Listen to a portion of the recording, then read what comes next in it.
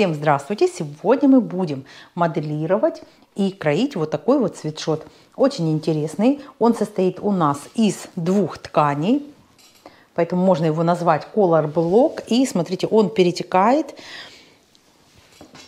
вот таким вот образом, да, вот светлая сторона, э, темная сторона, темный рукав, в этой части светлая сторона, светлый рукав – и вот так вот очень интересно э, он смотрится. На самом деле идею я это взяла в одном брендовом магазине.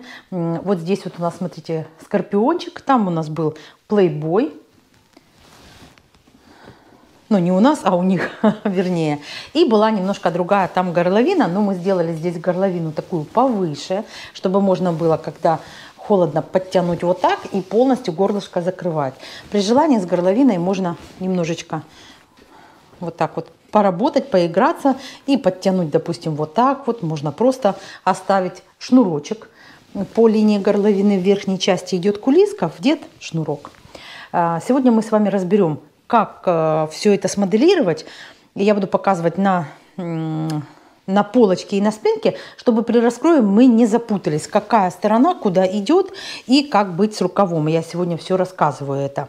Э, работаем мы сегодня трикотаж трехнитка. Это трехнитка с начесом. Обе, э, оба эти трикотажа у нас из интернет-магазин ткани Color. Ссылочки и на магазин, и на ткани оставим в описании. Начес здесь очень такой теплый, хороший. Конечно, будет в нем тепло и комфортно в этом свитшоте. Ткани производства Турции, поэтому очень надеюсь, что не будет кашлатиться и будет хорошо носиться. Этот свитшот у нас будет э, дополнением костюм спортивный. Значит, э, будем шить еще брюки. Брюки будем мы шить из серого цвета. И, возможно, где-то будет такая вот светло-серая вставочка. И тоже вот такой вот э, скорпиончик именно на брюках. У кого есть идеи, как лучше его расположить, буду очень признательна. Потому что я еще не совсем, не совсем ну, решила, где именно и как это будет. А, в нашем случае это мужской свитшот. Точно такой же свитшот может быть и женским. Значит, здесь разницы ну, никакой нет. Я мерила на себя, тоже все прекрасно и хорошо. По горловине. Мы с вами, когда сделали, моделировали и краили, то я горловину рассматривала вообще совершенно другую, поэтому э, хочу остановиться именно сейчас на воротничке. Значит, это у меня прямоугольник ткани, сложенный вдвое. Я его выкроила 20 сантиметров э, по ширине, складываю вдвое, это 10 сантиметров, 1 сантиметр вшит в линию горловины, и вот получается как раз высота 9 сантиметров. А раскроила я его по самой горловине. Вы измеряете, сколько сантиметров. Минус 2 сантиметра я взяла для того, чтобы чуть-чуть его распределить вот здесь вот. И все.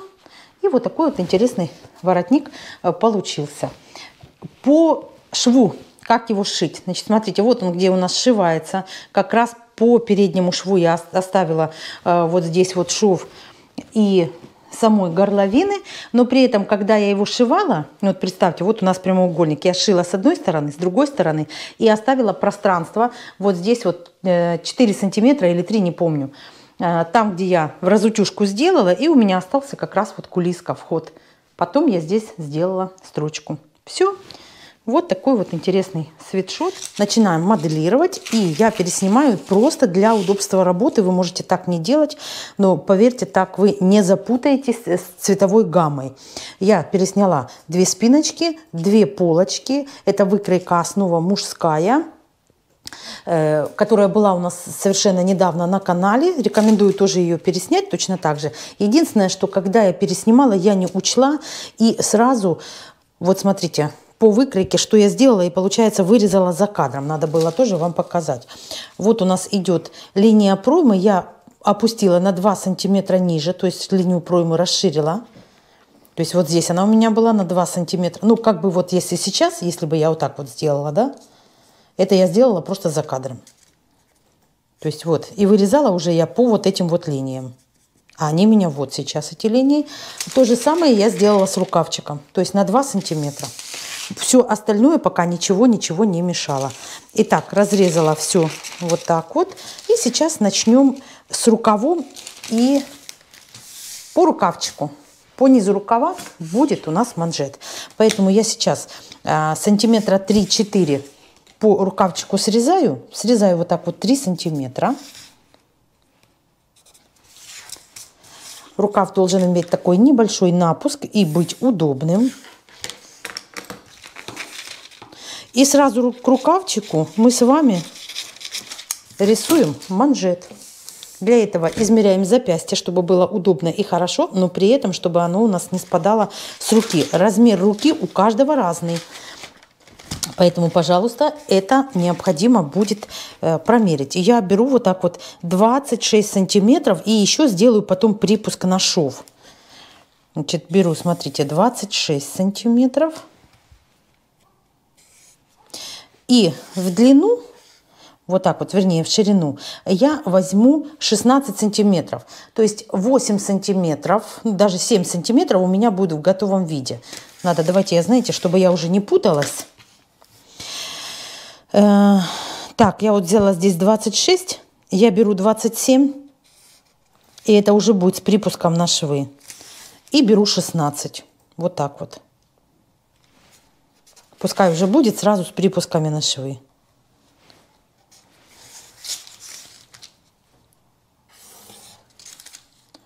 Отмечаю тоже 27 и соединяю. То есть вот у нас манжет, вот здесь, естественно, будет идти линия сгиба. Ну, я не ровную ее нарисовала, пишу сразу. Так, манжет рукава. Потом вырежу, когда все понарисовываю, все буду вырезать. Либо можно было в половинном размере сделать сгиб. Рукав откладываем в сторону, и нам нужно будет два рукава разного цвета. Один у нас будет э, светло-серый, один темно-серый. С рукавами разберемся чуть позже. Теперь беру спиночку. По спиночке определяю, либо по полочке, это не важно, где я буду делать э, вот этот вот разрез. Опускаюсь вниз теперь, ну вот так вот сантиметра на 4, на 5, не больше. Ну давайте возьмем вот так вот 5 сантиметров. Вот эту точку я определяю. Вот она у нас. Сразу же совмещаю, потому что мы здесь будем с вами стачать. И вот я прорисовываю спереди, как это должно быть. Теперь складываю. Почему я делаю именно так? А, потому что если сразу провести линию, у нас может быть вот здесь вот не совсем ровная линия, да? Вот я отметила одна, вторая, и теперь буду выкладывать линейку и проводить. Но при этом нужно все выровнять. По линии низа вот так вот я равняю, чтобы ничего не смещалось. Придавлю и по верхней линии придавливаю.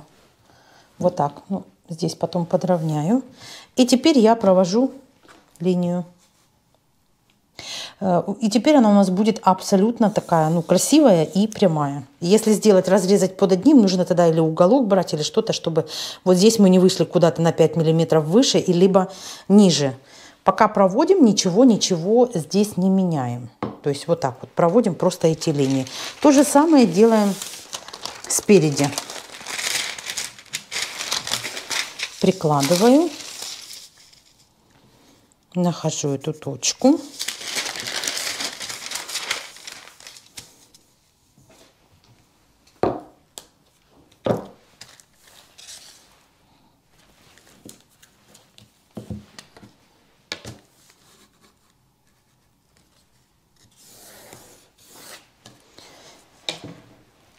Так, теперь определимся с цветовой гаммой.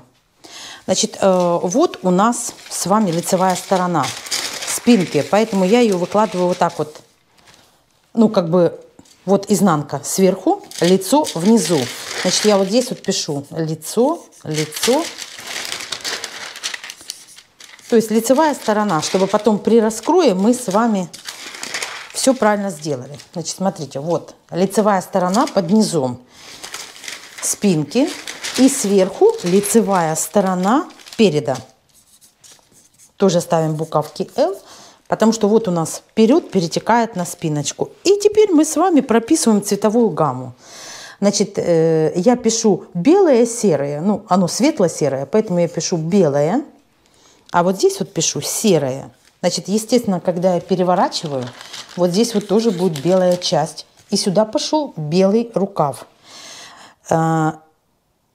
Неправильно. Тоже белая. У нас же вот так вот идет. Значит, нижняя часть серая.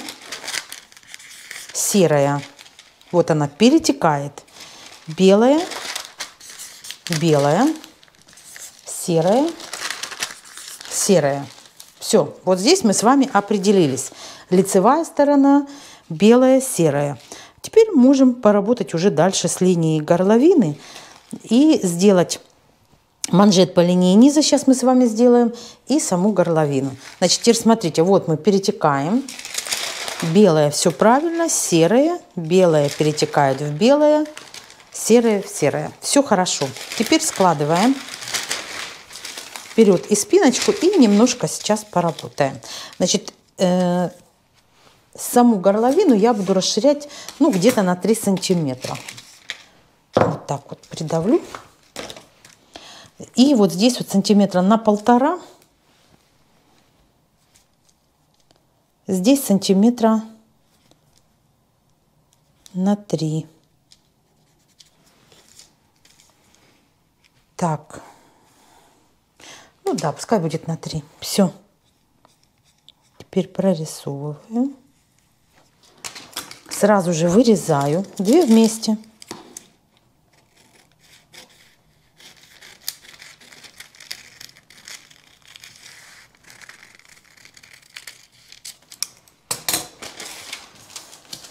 Так. То же самое 3 сантиметра. Ну вот спереди, смотрите, я взяла 3 сантиметра по спиночке, а вот здесь вот опустилась сантиметра на полтора. То здесь я буду опускаться, ну, сантиметра на 2, два с половиной. Вот так вот.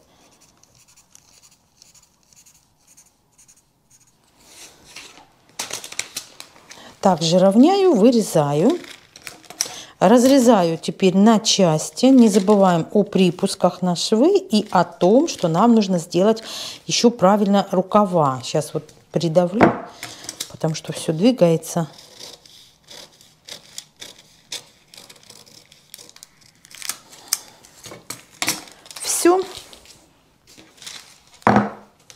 Э, здесь также обращаю ваше внимание еще на что. Когда мы с вами выкройку основу строили, кто будет строить, проверяйте плечевую линию. Плечевую линию я имею в виду, что если вы хотите, чтобы она была э, четко, ну, вот высоко по линии вот э, руки, да, где идет сочленение, то мы строим ее именно так. Если вы хотите, чтобы она была дальше, это плечевая линия, значит, вы можете длину плеча удлинять. Все. И теперь разрезаю.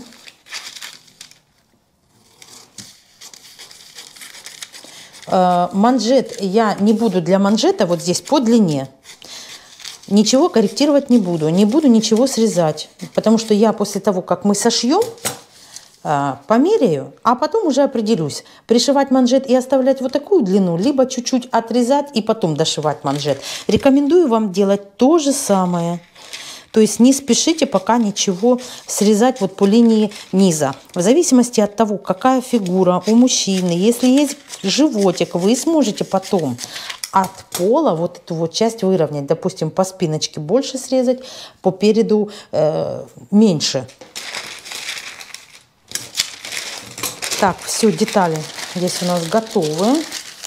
Теперь манжет по линии низа сделаю сейчас. Э, но я его сделаю такой, он у меня будет идти со сгибом. Что я рекомендую? Измерить обхват бедер вот э, по прямой, без учета выступа живота, потому что он же будет чуть-чуть же ниже. Но вот я взяла и, допустим, возьму на свободу там пару сантиметров. Потом опять-таки померю. Я сейчас беру вот так вот 50 сантиметров, чтобы у меня было.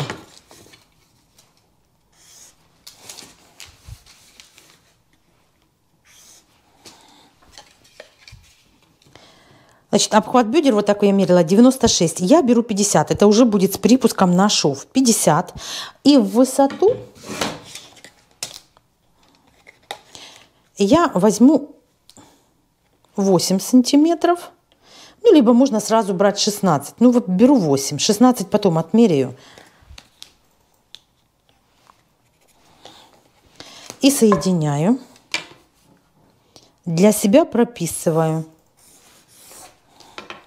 что вот здесь вот идет сгиб, потому что он будет двойной, и идет изгиб, потому что будет идти как спереди, так и по спинке. Осталось нам только обработать э, горловину.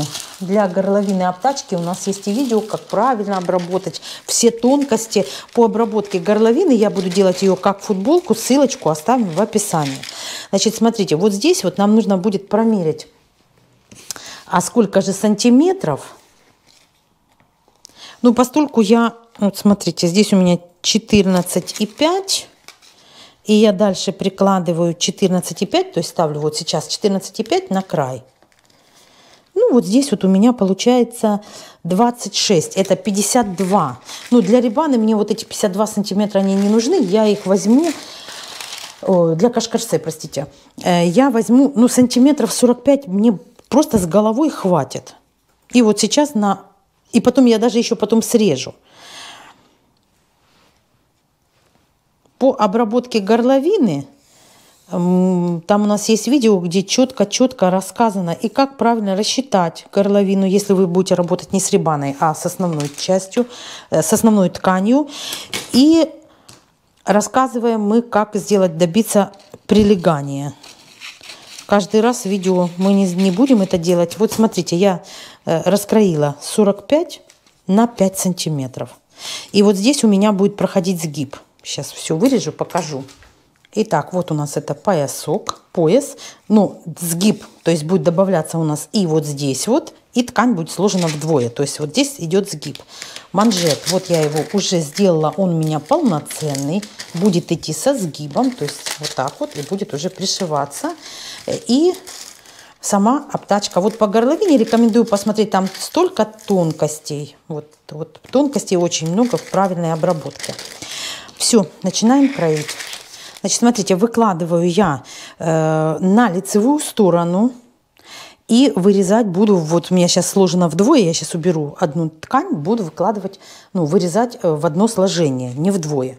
И, естественно, у меня вот здесь вот будет уходить одна длина, э, и сюда у меня вместится и рукав еще. В итоге, смотрите, вот что мы сейчас с вами выкроили, да? Вот у нас нижняя часть, вот у нас верхняя часть. Теперь сюда к верхней части у нас должен быть белый рукав. И мы с вами понимаем, что э, когда складываем, вот эта вот часть, вот, это вперед, там, где больше идет э, выемка. Поэтому мы с вами вот так вот прикладываем, вот верхняя часть, вот у нас рукав, и мы видим, что сейчас в данный момент вот здесь вот лицевая сторона. А, и вот здесь я для себя напишу лицевая белая. То есть белая сторона вот так вот сейчас должна лежать лицом. Откладываю в сторону детали, раскладываю и вырезаю рукав. К этому рукаву я буду вырезать сразу же манжет. Манжет будет светло-серый, на втором рукаве будет манжет темно-серый, поэтому вот здесь вот сразу идет рукав и сразу же выкладывается манжет. То есть вот он сразу манжет рукава. Смотрите, вот манжет рукава, когда я складываю с рукавом, видите, он идет меньше. Это правильно. Надеюсь, вам видно. давайте я вот так вот складываю вместе. Вот я буду вшивать, да, смотрите, видите, он идет короче. И еще плюс же я его зашью. А к рукавчику сейчас я еще сделаю припуск на шов. Припуск по линии низа делать я не буду. Буду сейчас делать по всем срезам, кроме низа. И затем поступаю точно таким же образом. Я буду поступать э, с вторым рукавом, потому что потом у меня будет лицевая серая вот здесь. И я напишу, допустим, другим цветом. Сейчас, сейчас, сейчас. Синим напишу. Лицевая серая. И серые детали точно так же я раскладываю на серой ткани лицевой стороной. Вот так вот, смотрите, я раскладываю, как это будет все сшиваться, для того, чтобы потом было удобно скалывать. И еще э, такой вам лайфхак, возможно, вам понадобится э, прописать, где передняя часть, где спинка. Ну, здесь оно выкладывается и так, все понятно сейчас. Вот смотрите, я, видите, вот повернула, смотрите. Ну, должен здесь быть белый, белый, конечно, цвет. Но вот у нас же линия, которая идет боковая, она изогнутая, а середина переда, она идет ровная. Поэтому вот обращайте еще на вот это вот тоже внимание. Сразу я вам показываю. Все, вот мы раскладываем, все получается, смотрите, пере, перетекает, да, светло-серый, темно-серый, все хорошо, по низу темно-серый манжет и такой же темно-серый, вот у нас кашкарсе будет идти по горловине. Шейте с удовольствием, пусть у вас все получается. Радуйте себя, своих мужчин. Возможно, шьет кто-то и мужчины. Я имею в виду, может, кто-то из мужчин возьмет и сошьет, и тоже пусть все у вас получится. Всем удачи, всем пока.